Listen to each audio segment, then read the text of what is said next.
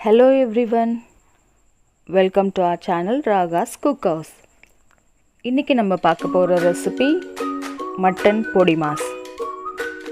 Mutton podimas செய்கிறதுக்கு என்னென்னலாம் தேவையான பொருட்கள்னு ஃபஸ்ட்டு பார்த்துடலாம்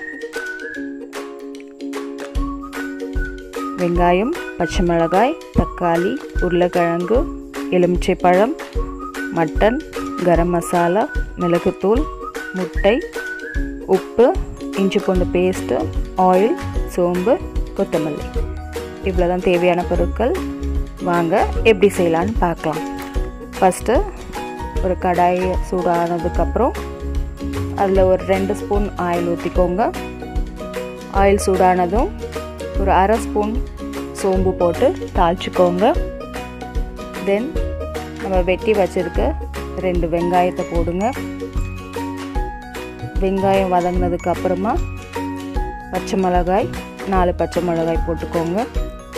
அதுக்கப்புறம் குட்டி குட்டியாக கட் பண்ணி வச்சுருக்க ஒரு உருளைக்கிழங்கு போட்டு வதக்கிக்கோங்க. தென் உருளைக்கிழங்கு வெந்ததுக்கப்புறமா நம்ம ஆல்ரெடி குக்கரில் mutton two hundred grams mutton wash பண்ணிவிட்டு மஞ்சத்தூள் கொஞ்சம் உப்பு கொஞ்சம் போட்டு வேக வச்சு வச்சுருக்கோம். அந்த வேக வச்ச மட்டனையும் இதில் கட் பண்ணி போட்டுக்கோங்க. ஒன் மோர் திங் பார்த்துக்கோங்க. இந்த மட்டன் வந்து குட்டி குட்டி பீசஸாக கட் பண்ணி போட்டுக்கணும். தென் மட்டன் போட்டு கிளறினதுக்கப்புறமா ஒரு ஸ்பூன் இஞ்சி பூண்டு பேஸ்ட்டு ஒரு ஸ்பூன் கரம் மசாலா உப்பு தேவையான அளவுக்கு போட்டு கிளறிக்கோங்க. தென் ஒரு தக்காளி போட்டுக்கோங்க. ரெண்டு முட்டை.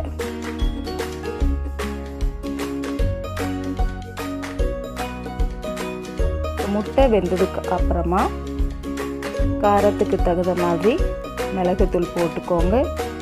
ஒரு அரை எலுமிச்சை பழச்சாறு ஊற்றிக்கோங்க தென் கொத்தமல்லி தூவி இறக்குனீங்கன்னா உங்களோட மட்டன் பொடி மாஸ் ரெடி ஆகிடும் ட்ரை பண்ணி பாருங்கள் டேஸ்ட் எப்படி இருக்குது அப்படின்ட்டு கமெண்ட் பண்ணுங்கள் வீடியோ பிடிச்சிருந்தால் லைக் பண்ணுங்கள் ஃப்ரெண்ட்ஸ் கூட ஷேர் பண்ணுங்கள் முக்கியமாக பண்ண வேண்டியது இதுவரையும் சப்ஸ்கிரைப் பண்ணாதவங்க சப்ஸ்கிரைப் பண்ணிவிடுங்க பெல் ஐக்கானை ப்ரெஸ் பண்ணுங்கள் அடுத்த ரெசிப்பியில் உங்களை சந்திக்கிறேன்.